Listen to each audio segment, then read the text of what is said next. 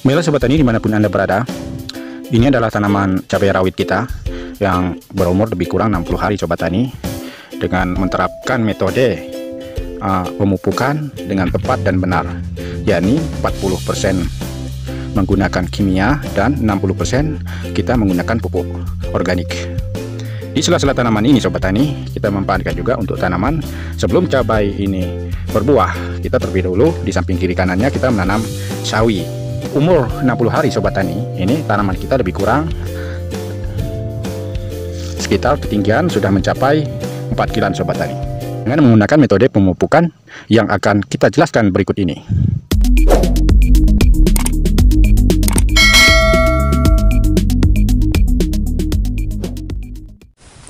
Halo sobat di mana pun anda berada.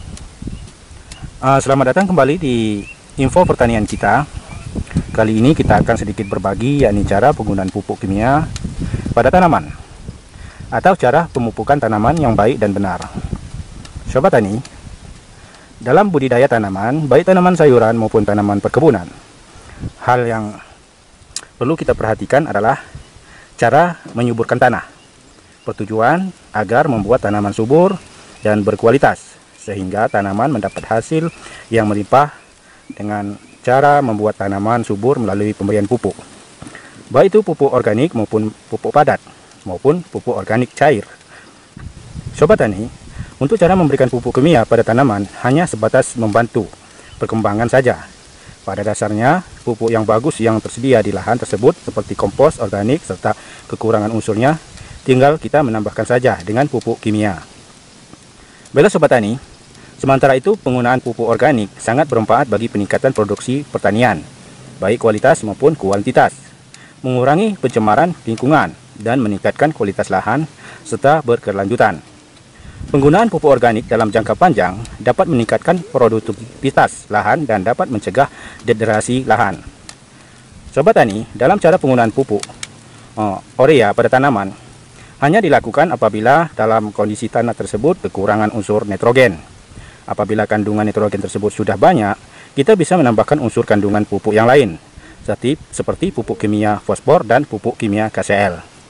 Sementara cara penggunaan pupuk urea pada tanaman sayuran atau cara pemupukan cabai, lebih baik kita lakukan jangan terlalu berlebihan, karena pada tanaman sayuran tersebut cepat busuk dan tidak tahan lama. Sebaiknya untuk tanaman sayuran dilakukan dengan pengocoran sobat tani.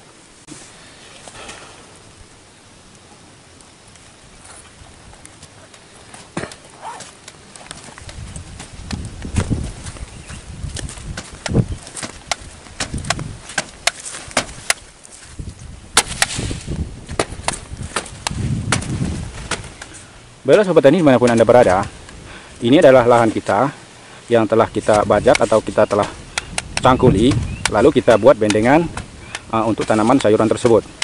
Namun sebelum kita tutup mulsa sobat tani Sebaiknya Kita jangan dulu taburkan dengan pupuk kimia sobat. Karena mengapa? Sifat kimia adalah uh, Terurainya. Itu batas jangka waktu 24 jam sobat tani.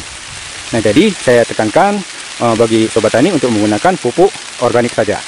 Untuk dalam pertanian bercocok tanam, terutama tanaman sayur mayur, uh, untuk jenis pupuk yang kita gunakan adalah pupuk kompos atau pupuk organik yang tersedia di di hadapan kita ini. Nah, jadi kalau kita menaburkan pupuk kimia di lahan, uh, hindarkanlah yang kita naburkan sifat uh, kimianya. Jadi kita bisa gunakan kalau untuk tabur di lahan adalah pertama pupuk organik padat, yang kedua adalah pupuk fosfor seperti SP ataupun SP36. Dan juga kita campur dengan uh, kapur dolomit. Tapi jangan direkomendasikan untuk menabur yang sifatnya nitrogen tinggi. Karena sifat nitrogen tinggi bisa tanah kita menjadi uh, keras ataupun padat. Seperti pupuk urea dan pupuk ZA. Baiklah sobat tani di mana pun anda berada, di hadapan kita ini adalah sebangsa kapur dolomit. Adapun bertujuan kita menaburkan kapur dolomit pada tanaman kita. Yang pertama kita ada sifatnya menetralkan tanah. Jadi kalau tanah kita keasaman bisa kita netralkan dengan kapur dolomit tersebut. Jadi dia bisa seimbang dari unsur NPK nya sobat tani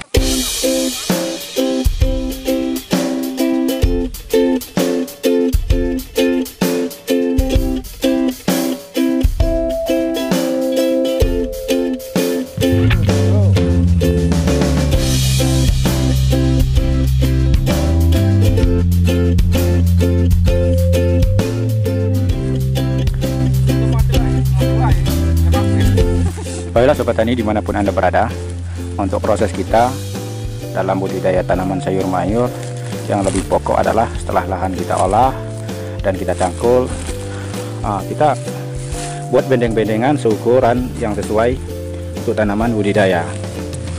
Yang pertama lebih pokok kita menaburkan yakni pupuk dasar Sobat Tani. Ya ini pupuk dasar yang kita gunakan adalah pupuk kompos ataupun pupuk kandang.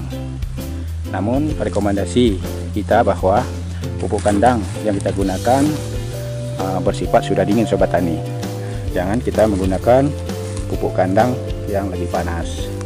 Itu menyebabkan uh, pada tanaman sayur mayur kita menjadi kurang maksimal. Baiklah Sobat Tani, untuk langkah yang selanjutnya setelah kita taburi pupuk kandang, ah, bisa juga kita lakukan dengan penaburan pupuk kimia. Namun ada dua prediksi pupuk kimia. Yang pertama adalah pupuk kimia yang mengandung unsur nitrogen tinggi seperti urea dan ZA. Itu bahwa penggunaan untuk pupuk kimia itu jangan sampai kita taburkan di lahan karena sifat kimia itu adalah uh, unsur terurainya hanya sebatas 24 jam. Nah, jadi alangkah disayangkan jikalau kita menaburkan pupuk kimia di lahan pertanian kita itu sama saja kita membuang-buang modal kita sobat tani. Jadi itu pemahaman dari penyuluh pertanian kita. Jadi lakukanlah pemupukan kimia setelah tanaman di lahan itu ada. Jangan sampai kita menaburkan pupuk kimia itu pada lahan itu belum ada tanamannya.